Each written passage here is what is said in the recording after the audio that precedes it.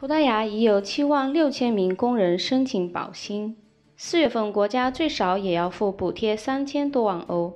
葡萄牙商会投诉大多公司申请保薪被拒，社保对公司关闭或暂停的条件令人费解。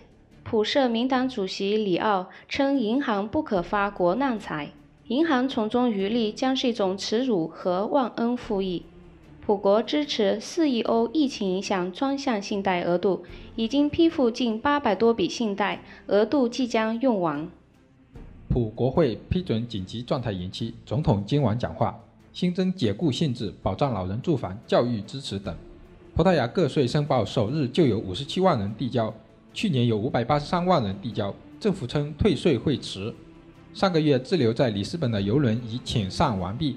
船上一千三百多名乘客返回各自的国家。四月二日，卫生部公告累计确诊九千零三十四人，新增七百八十三人，死亡累计两百零九人，治愈六十八人。